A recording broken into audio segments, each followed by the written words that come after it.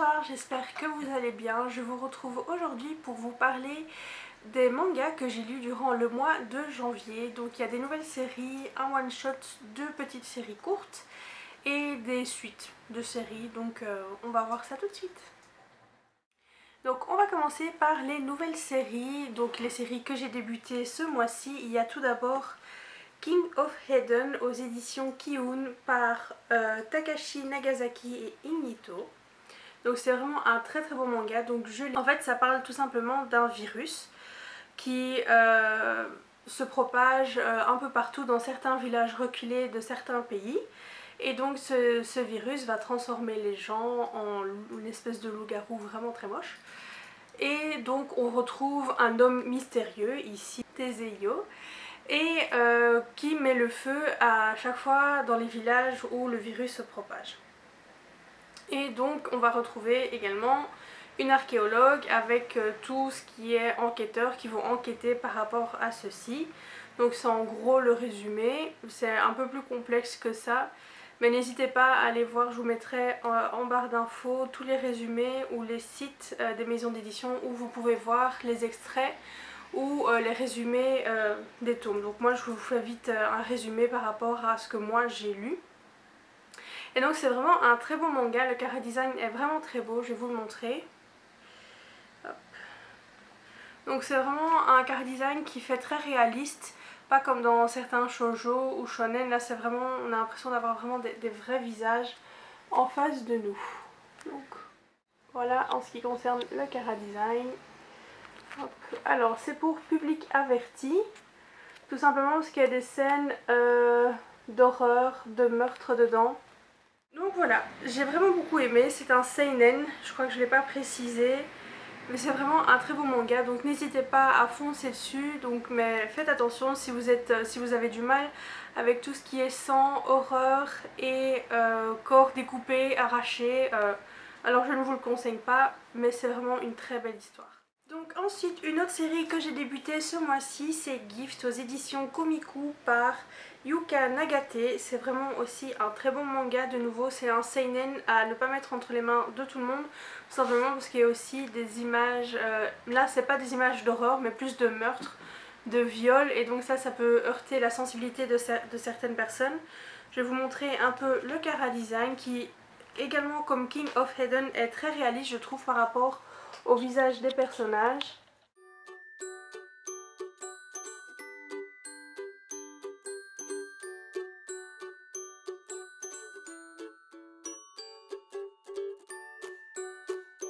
Vous pouvez voir un peu le cara design. Alors de quoi parle ce manga? Tout simplement de cette jeune fille qui est Tamaki Suzuhara qui travaille avec Takashi et en fait ce sont deux personnes qui vont aller chercher les criminels qui sont remis en liberté ou ceux qui n'ont jamais été appréhendés par la police pour leur retirer ou leur prendre tout simplement leurs organes vitaux et ne plus rien laisser ou soit les laisser vivants mais sans organes vitaux. C'est un peu comme une vengeance donc ils font un peu leur justice à leur sauce ce qui peut un peu être dur à lire dans ce manga et à faire face, c'est la morale de l'histoire où en fait tout simplement ce sont deux personnes qui décident du bien ou du mal, de qui doit être jugé, de qui doit vivre, qui doit mourir. Donc ça c'est ce qui peut être un peu difficile. Bien que les criminels qui sont impliqués dans ces histoires sont vraiment... Voilà, je suis personne pour juger mais ils n'ont pas des histoires très très claires ni très clean et donc euh, c'est spécial. Voilà, ils ont des histoires de crimes euh, spéciales. J'ai du mal en fait un peu à résumer ce tome parce que je l'aime beaucoup, j'ai beaucoup apprécié l'histoire, le mystère qui est autour de cette fille et du médecin qui est, euh, qui est leur acheteur d'organes, qui fait donc du, du trafic d'organes pour ses patients euh, au noir tout simplement. C'est un médecin qui n'est pas du tout dans un hôpital ni rien, il fait ça dans son petit cabinet et c'est tout. Et donc le, mystère qui entoure euh, cette, cette, jeune fille et ce médecin est très chouette. J'ai vraiment envie de savoir la suite, voir euh, qu'est-ce qu'ils vont devenir tous les deux. Mais comme je vous ai dit, la morale de l'histoire sur le fait de, de, juger et de savoir quel criminel mérite de mourir, oui ou non, c'est un peu difficile, mais ça reste très bien, hein. c'est vraiment, euh, ça, reste de la fiction, c'est sûr, mais voilà. c'est ce qui pourrait bloquer peut-être certaines personnes, qui m'a un tout petit peu bloqué, on va dire, durant la première histoire où je me suis dit « Ah d'accord !» Bien que c'est expliqué hein, un petit peu dans le résumé quand on lit certains avis, mais voilà. Donc je le conseille quand même, mais pas entre, euh, à mettre entre toutes les mains. Ensuite, une autre nouvelle série que j'ai commencé, c'est To Your Eternity de Yoshitoki Ohaima, aux éditions Pika. Désolée pour ma prononciation, euh, voilà, je, ne sais pas du tout parler japonais. Donc c'est l'histoire euh, d'une sphère qui va atterrir sur Terre et qui va prendre forme, euh, qui va prendre la forme de toutes les vies qu'elle peut toucher ou rencontrer au fur et à mesure de, sa vie. Et donc quand j'ai lu le résumé, je me suis dit c'est vraiment très spécial, mais au final c'est vraiment très beau comme manga. Failli pleurer, pourtant je suis pas quelqu'un de très émotif. Il m'en faut beaucoup euh, pour pleurer. Je vais vous montrer un peu le carré design qui je trouve est très très beau aussi. Donc voici, ah, on mon chat.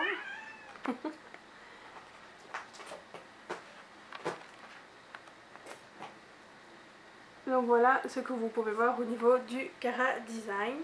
Et donc voilà, on va faire, euh, on va suivre l'histoire de cette sphère. Donc c'est tout simplement, au fur et à mesure, elle va rencontrer des êtres vivants. Et l'avantage de cette sphère, c'est qu'elle peut prendre, euh, pas possession du corps, mais elle peut reproduire à l'identique une personne, euh, ses faits, ses gestes, son physique. Et donc, si elle, par exemple ici, au tout début, elle va rencontrer un loup, elle va elle va le toucher. Et donc elle va prendre l'apparence de ce loup et euh, elle va vivre sa vie de loup jusqu'à ce qu'elle rencontre ce jeune homme dont, à qui euh, appartenait le loup tout simplement. Et voilà, après on va suivre la vie de ce jeune homme et au fur et à mesure, comme ça on va vivre la suite euh, de la vie de la sphère. Alors pour l'instant il y a 4 tomes, moi j'ai que le premier et j'ai trouvé ça très très beau pour l'instant. Je, je trouve qu'au niveau des avis c'est soit on aime soit on n'aime pas en fait au niveau de l'histoire et du cara design. Si jamais, c'est aussi le mangaka qui a fait Salon Voice pour vous donner un peu l'histoire, enfin le contexte qui pourrait y avoir. Enfin pas le contexte qui pourrait y avoir autour, mais le, style d'histoire et le style de car design auquel vous pouvez vous attendre en lisant Your Eternity. Et ensuite, une autre série que j'ai commencé, c'est Les Mémoires de Vanitas par Jun euh, Mushizuki aux éditions Kiun. C'est un shonen. Euh, alors, j'ai tout simplement adoré ce premier tome, mais vraiment, vraiment beaucoup, beaucoup, beaucoup adoré. C'est aussi euh, le mangaka qui a fait Pandora Earth. Alors Pandora Earth, j'ai juste lu le premier tome. J'ai l'intégrale en animé que je n'ai pas encore regardé. Donc voilà. Hmm. On passera sur ces petits détails. Tout simplement, le premier tome de Pandora Earth, je l'ai lu, je n'ai absolument rien compris. Ça m'a un peu bloqué, mais je compte euh, m'y remettre parce que si c'est comme les mémoires de Vanitas, alors euh, à coup sûr, je vais adorer. Alors, tout simplement, je vais vous montrer déjà le cara design. Euh, là, par exemple. Alors, ce que j'adore dans les mémoires de Vanitas, c'est tout simplement, ça se passe au 19e siècle. Et j'adore tout ce qui est 19e siècle et 20e siècle au niveau de, des vêtements simplement. Ça se passe avec des vampires. J'adore les vampires, ça je vous l'avais dit directement lors de ma première vidéo je pense. Et donc les mémoires de Vanitas, c'est tout simplement, on va suivre l'histoire de Noé, un vampire qui est à la recherche du grimoire, enfin des mémoires de Vanitas. Et qui est Vanitas C'est ce jeune homme qui est juste ici. Et donc il a la recherche des mémoires de Vanitas, euh, tout simplement parce que c'est un grimoire, un livre qui est craint par tous les vampires parce qu'il est censé répandre le mal. Mais ce qu'on va découvrir, c'est qu'à bord d'un aéronef, je pense, il y aura Noé et Vanitas et il y aura une jeune vampire qui va tomber subitement malade, qui va être euh, prise d'un certain mal. Et alors il y a Noé qui va essayer de la conduire chez un médecin, mais Vanitas va se mettre entre deux pour la soigner avec les grimoires de Vanitas, l'ouvrir et faire ses incantations, ou il va lui demander de révéler son vrai nom, parce que en fait au niveau des vampires, c'est encore un peu mystérieux à, ce niveau-là, c'est en ce qui concerne leur nom, s'il est bafoué ou souillé, quelque chose comme ça, alors ils sont pris d'un mal et ils se transforment vraiment en véritable suceur de sang, euh, acharnés et complètement euh, possédés, alors que d'habitude ils sont calmes et ils s'en prennent pas aux humains. Et donc il va euh, réconcilier la jeune femme Amélia par rapport à son prénom et voilà. En gros on suit l'histoire de Noé et Vanitas qui vont alors s'allier contre les autres personnes qui pensent que le grimoire est maudit alors que Vanitas essaye de redorer l'image du grimoire. Voilà en gros ce que je peux dire pour les mémoires de Vanitas. Euh, j'ai pas trop envie de trop spoiler non plus. Et c'est quand même un gros tome donc c'est difficile de résumer tout ça en 2-3 minutes. Mais voilà, si vous voulez quelque chose qui parle de vampires du 19e siècle, vous avez bien aimé Pandora Hearts, n'hésitez pas et foncez là-dessus. Ensuite, je vais continuer avec une petite série courte qui se finit en deux tomes. C'est Dédale de Takamichi aux éditions Doki Doki. C'est un seinen. Alors, ma position par rapport à ce manga, il y a beaucoup, pour beaucoup de personnes, ça a été un gros coup de cœur. Moi, j'ai encore du mal à me faire un avis là-dessus, si j'adore, j'aime bien ou bof. Tout simplement, je suis un peu euh, entre deux chaises pour l'instant concernant ces deux tomes, cette petite série. Alors, je vais vous montrer directement le cara design et puis je vais vous en parler.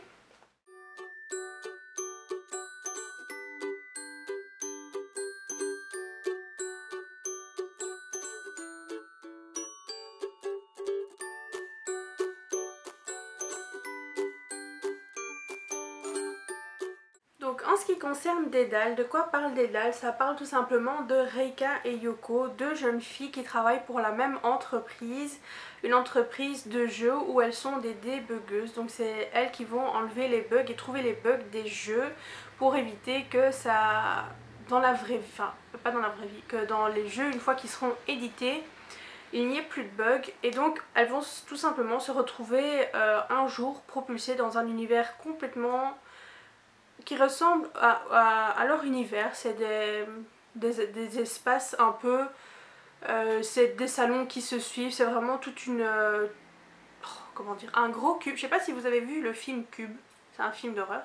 Bah, c'est comme si elles étaient dans un gros cube avec plein de pièces. Et en face, elles passent de pièce en pièce où elles découvrent certains éléments.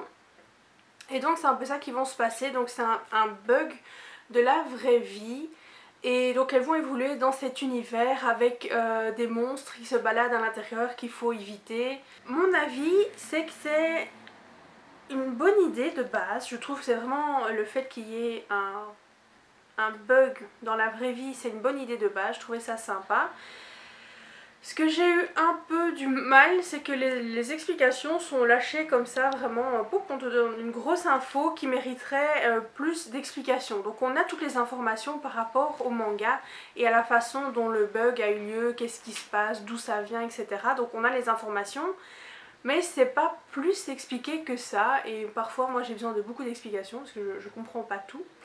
Et donc je trouvais juste qu'il manquait un peu des explications par rapport à ça. C'est juste une info est lâchée et puis voilà. Donc ça c'est vraiment un peu euh, ce qui m'a freiné. Ce que j'ai bien aimé c'est le cara design, les deux, euh, les deux personnages qui sont mais tellement à l'opposé l'une de l'autre mais qui s'entendent bien quand même. Et euh, leur histoire d'amitié est très touchante. donc ça c'est vraiment très sympa. Au final ce qui est bien aussi c'est que c'est une fin complètement ouverte. Donc on a une fin, on a une explication finale, une information finale sur le pourquoi du comment. Et ça reste une fin ouverte pour les deux personnages et ça c'est vraiment très sympa je trouve parce qu'après c'est notre imagination qui fonctionne et qui euh, termine un peu l'histoire comme nous on le désire. Donc voilà, c'est un avis assez mitigé sur Dédale. Je pense qu'il faut vraiment que vous lisiez pour avoir votre avis. Maintenant, euh, c'est une lecture qui m'a plu, qui m'a pas... J'ai pas mis du temps à la lire. Mais à la fin j'étais mitigée et je suis encore mitigée sur euh, est-ce que j'aime, est-ce que j'aime pas ou euh, je pense que c'est un manga que j'aime bien, pas que j'adore ni que j'aime pas, mais que j'aime bien. Voilà, c'est entre les deux. Voilà. Ensuite, une autre série courte que j'ai terminée et qui se finit en deux tomes, c'est Meminis aux éditions Doki Doki de nouveau par euh, Makoto Shiozuka. Donc voici au niveau des tomes. Je vais vous montrer le Cara Design. Alors j'ai beaucoup aimé le Cara Design. C'est un Cara Design euh, typique de shonen on va dire.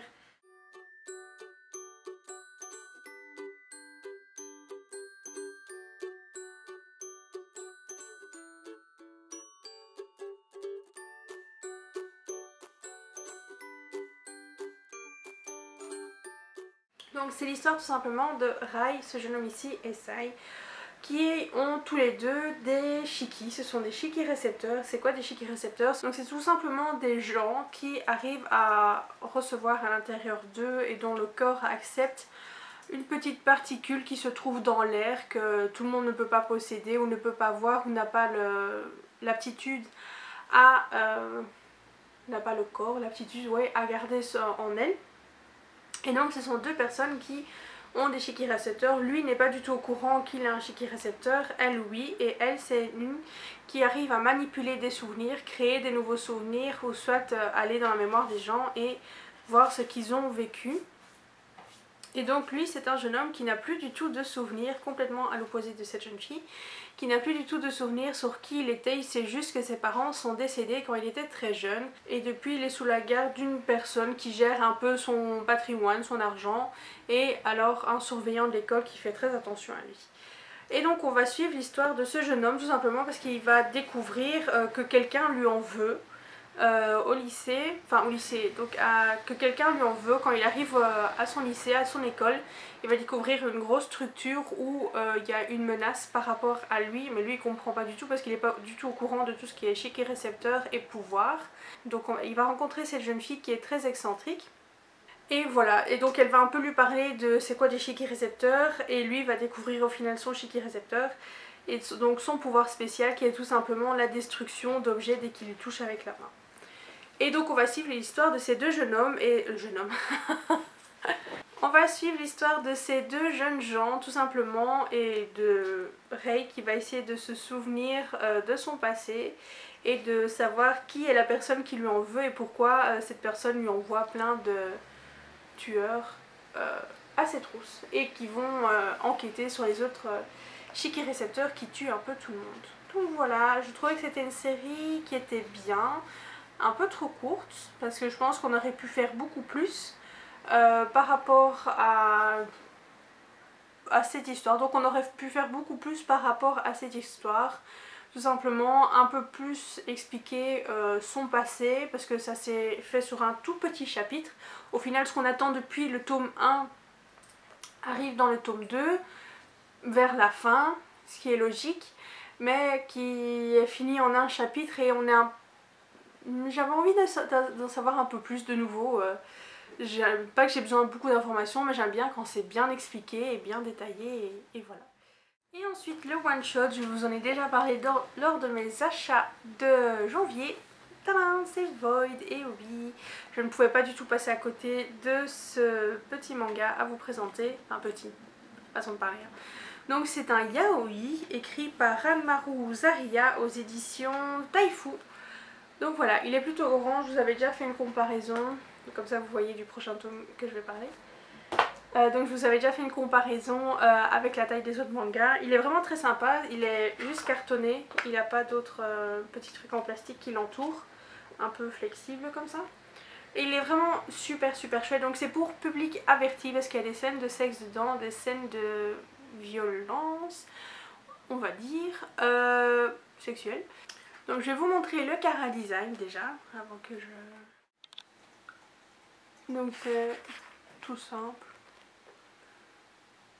Je regarde que je ne tombe pas sur des scènes inappropriées pour le jeune public. Donc voilà, j'ai eu de la chance. Donc c'est tout simplement l'histoire de Maki, ce jeune homme qui va recevoir de la part d'un de ses anciens collègues un jeune humanoïde nommé Arata. Donc c'est tout simplement un humanoïde qui ressemble très pour très à son ex-compagnon Ren. Euh, donc il n'était pas du tout prévu qu'il reçoive un humanoïde, il est très surpris et encore plus surpris quand il voit qu'il lui ressemble énormément. Donc c'est des humanoïdes qui peuvent, euh, via l'ADN des anciens, des, anciens, des personnes qui donnent leur ADN, ressembler à ces personnes-là de fait. Et donc voilà, il n'était pas du tout au courant de ça et donc il va recevoir cet humanoïde. Donc il va se venger de son ex-compagnon en prenant Arata à la place, tout simplement. Et donc il va lui faire euh, subir des sévices euh, sexuels pour se venger, tout simplement. Et donc c'est comme ça que débute l'histoire. Et puis au fur et à mesure, euh, ça s'adoucit quand même pas mal. Et ça c'est vraiment très beau. Donc ce que j'ai beaucoup aimé dans l'histoire, ce que j'ai eu un peu du mal au début, c'est tout simplement qu'il fasse payer quelqu'un qui n'avait rien à voir avec cette histoire avec l'histoire avec son ex-compagnon donc j'avais un peu du mal, mal au cœur pour Arata surtout la façon dont il était puni c'est vraiment pas très chouette pour lui Et puis au fur et à mesure, l'histoire s'est adoucie et ça, ça a vraiment fait du bien. C'était vraiment très très chouette. Et donc c'est vraiment un très beau manga, c'est très mignon, c'est vraiment sympa. Euh, j'ai beaucoup beaucoup aimé, beaucoup beaucoup aimé, donc ça faisait un moment que je l'attendais, il était sorti en novembre et euh, je le trouvais jamais nulle part dans les librairies où je, où je cherchais. Et donc quand je l'ai trouvé, bah, j'ai sauté dessus tout simplement. Et donc je vais parler de Grim Reaper, le tome 3 par Hirono aux éditions Dark Kana. Donc aux éditions Kana euh, Dark. C'est une série qui se finit en 6 tomes. Je vais vous montrer le Kara Design. Hop.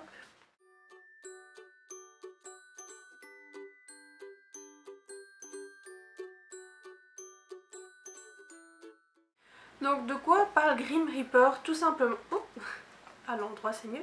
Voilà, tout simplement. Alors, euh, Grim Reaper, de quoi ça parle? Ça va parler de Sian. C'est un chevalier d'argent qui a décidé de devenir chevalier d'argent lorsqu'il a vu euh, ses parents, qui étaient eux-mêmes des chevaliers d'argent, mourir sous ses yeux à cause des larvas. Des larvas, ce sont tout simplement des personnes lambda envoyées par euh, le Seigneur de la Mort le Seigneur de la Mort pour euh, tuer un peu tout le monde euh, sur son passage et lui ramener des âmes. En gros, c'est ça. Et donc lui, ce qui va se passer, c'est que dans le tome 1, il va également se faire mordre par une larva et donc il va être transformé lui-même en larva, mais il aura le choix. On peut avoir le choix si on se transforme tout à fait en larva ou pas. On se transforme en larva une fois qu'on a mangé ou mangé l'âme de quelqu'un et on ne devient pas une larva si on ne mange pas l'âme de quelqu'un. Mais c'est très tentant, ils sont tentés tout le temps et donc voilà, ils vont trouver une solution pour ne plus être tentés. Je vous laisse découvrir. Et donc dans ce tome 3, c'est tout simplement la suite de l'aventure. Donc ils il a trouvé un petit groupe avec lequel euh, suivre euh, le Seigneur de la Mort et tenter de le tuer tout simplement pour... Euh, pour venger un peu toutes les personnes qu'il a tuées. Et donc il va parcourir avec son petit groupe euh, différentes villes où ils vont euh, trouver euh, à chaque fois des, fanatiques, des élésiones comme on appelle, les fanatiques du Seigneur de la Mort qui répandent les larvas dans les villes. Et donc il est également, pourquoi il est très très motivé à faire ça? Tout simplement parce qu'il travaillait pour la famille royale qui protège, qui a le pouvoir de soigner, les enfin, de soigner le mal et de, de, combattre le seigneur de la mort. Et donc, je suppose, dans les mangas, qu'il est très amoureux de la jeune fille Dame Renette parce qu'ils se connaissent depuis qu'ils sont tout petits et on voit qu'ils sont très très proches. Et donc c'est pour ça que je dis je suppose parce que ça fait des allusions mais c'est pas dit explicitement donc c'est une supposition. Et donc euh, forcément il va faire ça également pour la protéger. Et donc voilà, ici c'est tout simplement la suite de l'histoire. Euh, c'était vraiment un très chouette tome. On a bien avancé dans l'histoire je trouve. Et du coup j'ai hâte euh, de lire la suite et de savoir ce qu'il en est. J'aimerais bien qu'il devienne un peu plus fort, mais c'est que mon avis. Ensuite, une autre suite de série, c'est Mushoku Tensei aux éditions Doki Doki de nouveau par Fujuka, euh, par Fujikawa Yuka et Shirotaka. Donc Mushoku Tensei, j'en ai déjà pas mal parlé sur mon Instagram, tout simplement parce que ça a été mon, un de mes gros coups de cœur de l'année 2017. C'est vraiment un très chouette manga en ce qui concerne la magie et le fait de revivre euh, sa vie euh, sous une autre forme, tout simplement. Je vais vous montrer le cardinal.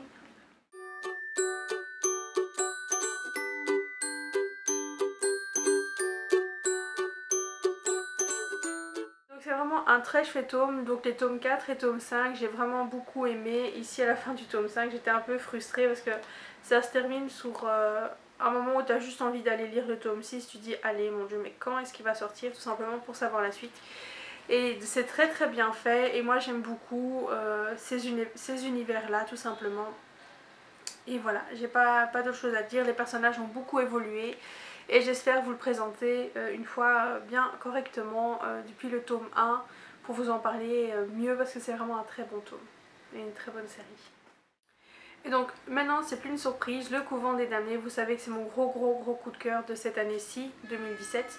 Et donc j'ai vraiment hâte de connaître la suite. Et donc le couvent des damnés c'est par Minoru Takeyoshi aux éditions Glénat.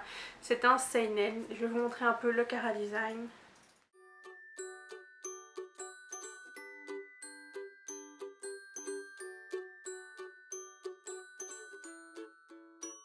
Donc voilà, c'était vraiment un très chouette tome. Euh, j'ai hâte d'avoir le tome 6 et de pouvoir vous présenter la série en entière, tout simplement parce que c'est vraiment un très très bon manga qui est très peu mis en avant, je trouve, par Glénat et c'est vraiment dommage parce que beaucoup de personnes, je pense, passent à côté d'une petite pépite. Et donc voilà, n'hésitez pas à aller euh, vous le procurer. Et donc ensuite la dernière suite de série que j'ai lu c'est un tome 2, c'est le tome 2 de Close to Heaven. Donc c'est euh, par Rin Mikomoto aux éditions Pika, c'est un shoujo. Et donc c'est tout simplement l'histoire de Kira et Ninon, euh, de ces deux jeunes gens, dont euh, Kira, on a découvert qu'il avait une maladie incurable. Donc je vais vous montrer un peu le Kara Design.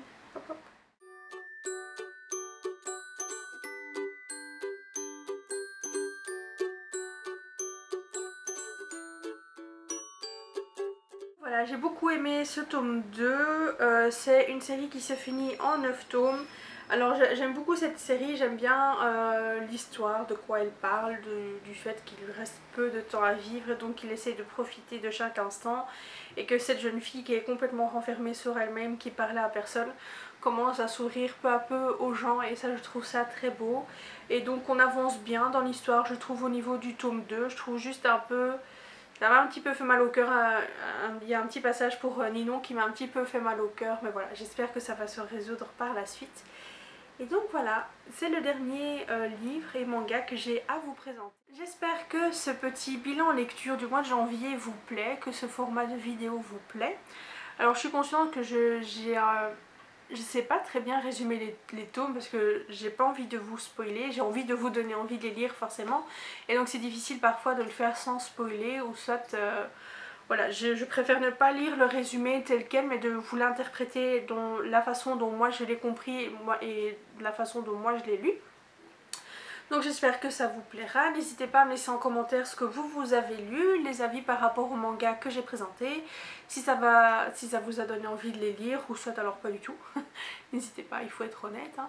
Et donc voilà, je vous souhaite une très bonne journée, une très bonne soirée, une bonne semaine, un bon week-end. Ça dépend de quand vous regardez cette vidéo et je vous dis à bientôt.